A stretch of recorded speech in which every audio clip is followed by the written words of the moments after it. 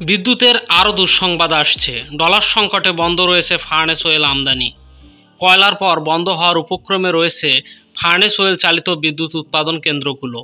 ডলারের অভাবে কয়লা আমদানি বন্ধ হয়ে যাওয়ায় ইতিমধ্যে কয়লা ভিত্তিক বিদ্যুৎ কেন্দ্রগুলো একে একে বন্ধ হয়ে যাচ্ছে।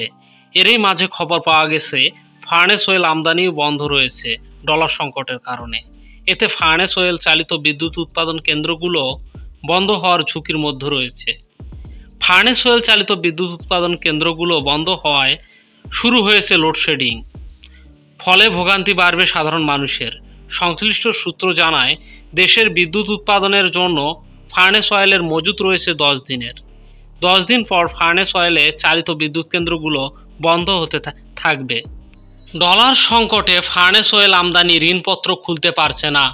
বেসরকারি বিদ্যুৎ উৎপাদন প্রতিষ্ঠানগুলো, আইপিপি একই অবস্থা বাংলাদেশ পেট্রোলিয়াম কর্পোরেশন, বিপিসি। তত্ত্বাবধায়ক ব্যবস্থা ছাড়া কোনো নির্বাচন হবে না, মির্জা ফখরুল ইসলাম আলমগীর। তত্ত্বাবধায়ক সরকার ব্যবস্থা ছাড়া দলীয় সরকারের অধীনে আর কোনো নির্বাচন হবে না বলে হুঁশিয়ারি দিয়েছেন বিএনপির মহাসচিব মির্জা ফখরুল ইসলাম আলমগীর। তিনি বলেছেন চোদ্দ আঠারো সালে ভোট দিতে পারেনি জনগণ। সামনে নির্বাচন নিয়ে নির্বাচন নির্বাচন খেলা খেলতে চাচ্ছে আওয়ামী লীগ। কোনো নির্বাচন হবে না তত্ত্বাবধায়ক সরকারের অধীনে না হলে। শুক্রবার নয় জুন রাজধানীর নয়াপল্টনে বিএনপির কেন্দ্রীয় কার্যালয়ের সামনে এক বিক্ষোভ মিছিলের আগে বক্তব্যে তিনি এসব কথা বলেন। দ্রব্যমূল্যের দাম কমানো সহ সরকারের পদত্যাগ ও নির্দলীয় সরকারের অধীনে নির্বাচনের দাবিতে নয়াপল্টনে বিএনপির কেন্দ্রীয় কার্যালয়ের সামনে থেকে বিক্ষোভ মিছিল ও সমাবেশ করে জাতীয়তাবাদী দল। বর্তমান সরকারকে পদত্যাগ করে ক্ষমতা হস্তান্তর করতে হবে। তা না হলে কোনো নির্বাচন হবে না বলে আবারও হুঁশিয়ারি করে মির্জা ফখরুল বলেন, দুই হাজার চোদ্দ আঠারো সালের মতো আবারও এক দফা নির্বাচন করে সরকার নির্বাচন নির্বাচন খেলতে চায়। জনগণ তা আর হতে দেবে না। বক্তব্যর ফাঁকে ফাঁকে বিএনপির মহাসচিব স্লোগান দিতে থাকেন দুনিয়ার মজদুর এক হও। অবিলম্বে সরকারকে পদত্যাগ করে দ্রুত নির্দলীয় সরকারের অধীনে ক্ষমতা হস্তান্তরের দাবিও জানায় তিনি। নিত্যপণ্যের ঊর্ধ্বগতির জন্য সরকারের সিন্ডিকেটকে দায়ী করে বিএনপির মহাসচিব। এ সময় উপস্থিত ছিলেন বিএনপির স্থায়ী কমিটির সদস্য নজরুল ইসলাম খান, চেয়ারপারসনের উপদেষ্টা বীর মুক্তিযোদ্ধা আব্দুস সালাম, আমানুল্লাহ আমান সাংগঠনিক সম্পাদক আব্দুস সালাম আজাদ। বিএনপির নেতা অ্যাডভোকেট শামসুর রহমান শিমুল বিশ্বাস, শ্রমিক দলের সভাপতি আনোয়ার হোসেন, যুব দলের সভাপতি সুলতানা সালাউদ্দিন টুকু প্রমুখ। এর আগে বৃষ্টি বাদল উপলক্ষে করা শ্রমিক কর্মচারী সমাবেশ ও বিক্ষোভ মিছিলে অংশ নিতে নয়াপল্টন বিএনপির কেন্দ্রীয় কার্যালয়ের সামনে জড়ো হয়েছে দলটির নেতাকর্মীরা।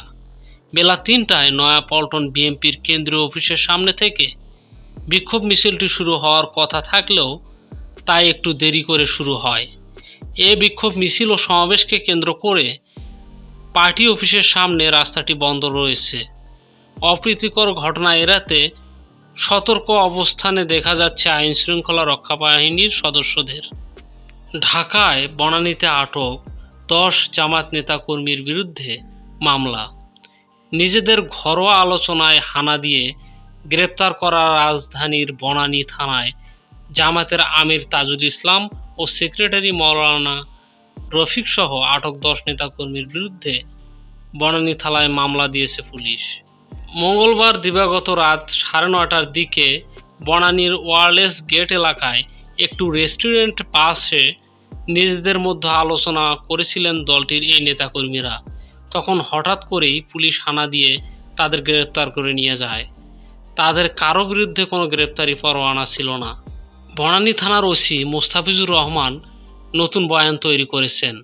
তার তৈরি করা বয়ান অনুযায়ী আগামী দশে জুনে ঢাকায় বিক্ষোভ সমাবেশকে ঘিরে মঙ্গলবার রাতে গোপন বৈঠকে নাশকতার পরিকল্পনা করেছিল জামাতে ইসলামের এই নেতাকর্মীরা। এ সময় দশজনকে আটক করা হয়। পরে তাদের গ্রেপ্তার দেখায় পুলিশ। প্রশ্ন হচ্ছে, রেস্টুরেন্টে প্রকাশ্যে বসে কি কেউ গোপন বৈঠক করে? এছাড়া জামাতে ইসলাম কি কোনো নিষিদ্ধ সংগঠন যে তারা নিজেরা বসে আলোচনা করতে পারবে না? আগামী দশই জুন জাতীয় মসজিদ বায়তুল মোকারমের উত্তর গেটে বিক্ষোভ সমাবেশ করার ঘোষণা দিয়েছে জামাত। এজন্য গতকাল মঙ্গলবার ডিএমপির কাছে অনুমতি চেয়ে আবেদন করা হয়েছে। ডিএমপির আবেদন গ্রহণ করে জানিয়ে দিয়েছে, সিদ্ধান্ত পরে জানানো হবে। দ্রব্যমূল্যের ঊর্ধ্বগতি রোধ জামায়াতের আমির ডক্টর শফিকুর রহমান সহ দলের নেতা ও অন্য ওলামাদের মুক্তি এবং তত্ত্বাবধায়ক সরকারের দাবিতে গত সোমবার পাঁচে জুন রাজধানীতে পূর্ব ঘোষিত বিক্ষোভ সমাবেশের কর্মসূচির করার কথা ছিল জামাতের কিন্তু কর্মদিবস ও অফিস আদালতে সব কিছু খোলা থাকায় জনদুর্ভোগের কারণ দেখিয়ে ডিএমপির সমাবেশের অনুমতি দেয়নি। পরে কর্মসূচি স্থগিত ঘোষণা করে জামায়াত। ওই দিন বিকেল দশে জুন, দুপুর দুটায় থেকে বায়তুল মোকারমের জাতীয় মসজিদ উত্তর গেটে বিক্ষোভ সমাবেশ ও মিছিল কর্মসূচির ঘোষণা দেয় জামায়াত। এতক্ষণ ধৈর্য ধরে ভিডিওটি দেখার জন্য অসংখ্য ধন্যবাদ। ভিডিওটি লাইক, কমেন্ট ও শেয়ার করুন প্রিয় দর্শক। চ্যানেলটি সাবস্ক্রাইব করে সাথে থাকুন। আসসালামু আলাইকুম।